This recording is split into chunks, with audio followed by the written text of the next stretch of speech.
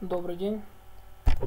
Сейчас я расскажу, как загружать XML файл, который вы выгрузили из 1С, а также как добавлять картинки в категории, в подкатегории. Приступим. После того, как Марина, либо вы сами выгрузите файл из 1С, он у вас примет вид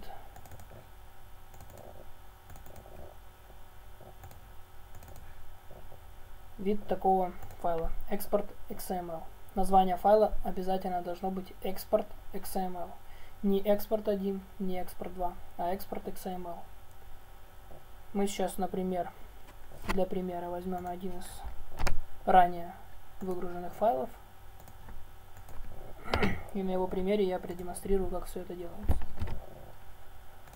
Для начала если файл называется не так мы его переименовываем убираем ненужные символы, остается только экспорт XML. После чего, если у вас э, Windows, либо другая операционная система, везде есть архиватор. Вам необходимо его заархивировать. А, чаще всего это создать архив, либо добавить в архив. Расширение должно быть zip. Мы создаем архив, закрываем, получается export.zip где находится в свою очередь файл экспорт XML. Не в папке, ни в чем, просто файл. После чего мы заходим в нашу админ панель, дополнительно модули. Здесь в списке модулей есть модуль файл upload. Мы заходим изменить, выберите файл и выбираем файл, который мы только что создали на компьютере. Он у вас может быть где-то в определенной папке. Мы выбираем наш архив export zip, в котором лежит файл export xml. Открыть и сохранить. Появляется надпись, что файл успешно загружен. Отлично.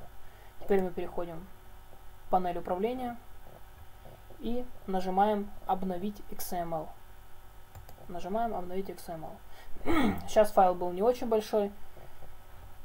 Процесс быстро прошел. Если файл будет весить мегабайт, 2 мегабайта, желательно, чтобы он весил не больше мегабайта.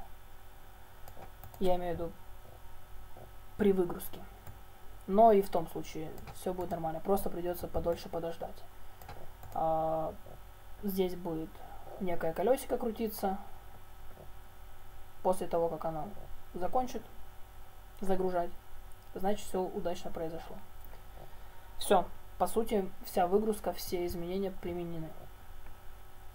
А, дальше, для изменения картинки категории мы заходим в каталог, категории. Здесь мы видим список наших категорий. Вот это обозначает, что эти категории являются вложенными в родительские. Это родительская категория, это ее подкатегория, это подкатегория вот этой подкатегории. Чтобы добавить новую категорию, вам всего лишь навсего нужно нажать «Добавить». Вот, кстати, если мы... У нас есть несколько категорий, грызуны, которые не участвовали. Так, почему у нас две? Мы сейчас одну удалим. а, которые не участвовали в выгрузке. Их а, товаров с этой категории не было в выгрузке, которая была предоставлена. Сейчас одну из них удалим. Соответственно, я не могу назначить им какие-либо подкатегории. Если вам надо будет добавить в категорию грызуны какую-либо подкатегорию, вы заходите изменить грызуны. Секунду, категория. Вы, заход... вы заходите добавить. Здесь пишите название новой подкатегории. Например, это будет тест. Тест. Заполняете метод description описание этой категории. В данных мы указываем родительскую категорию. Здесь вам стоит начать набирать название родительской категории, например, грызуны. Мы увидим в выпадающем окне, что появилась категория грызуны. Выбираем. Здесь также есть изображение категории, где вы можете выбрать из существующих картинок, либо же загрузить с компьютера. Также выбираете любое изображение, нажимаете «Открыть» и все. После чего находите это изображение в списке, два раза кликаете, изображение здесь. Отмечаете галочкой главное меню и порядок сортировки включено. После чего вы нажимаете сохранить. Теперь мы видим, что в категории грызуны появилась подкатегория теста. Мы ее удаляем, так как она мне нужна. И сейчас на примере одной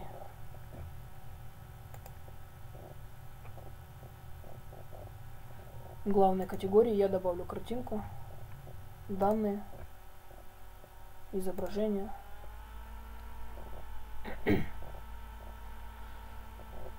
Мы выбираем из существующих, так как на компьютере у меня нету подходящих картинок. Главное, эта галочка не является обязательной. Сохранить. И теперь при переходе на магазин категория аквариумистика будет отображаться эта картинка. Когда вы добавите какой-либо товар в категорию грызуны и птицы, эти категории отобразятся здесь, так как в них нет ни одного товара. И сразу же я объясню, каким образом вот в данном блоке отображаются товары. Для того, чтобы изменить либо добавить в этот блок товар, вы делаете следующее. Вы заходите дополнительно, модули, рекомендуемые, изменить. Здесь вы видите список товаров. Вы можете какой-либо из них удалить, кликнув на красный кружочек. И здесь в поле товары начать вводить тот товар, который вам необходимо начать вводить здесь товар, который вас интересует. Я набор Перед этим вы должны убедиться, что он отображается на сайте, потому что у нас многие товары закрыты, там они будут показываться все. Мы выберем какой-нибудь аквариум фильтр, который имеет картинку, например, это будет данный. Скопируем название, вставляем его сюда. Вот что у нас там 1200 или какой? Да, 1200. Мы начинаем вводить его название. Он появляется в списке. Мы его выбираем. Вот он отобразился в данном списке. Нажимаем «Сохранить». Переходим на главную страницу.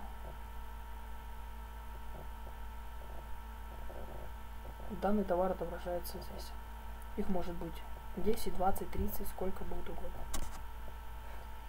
Спасибо. Если будут какие-либо вопросы, пишите, звоните. До свидания.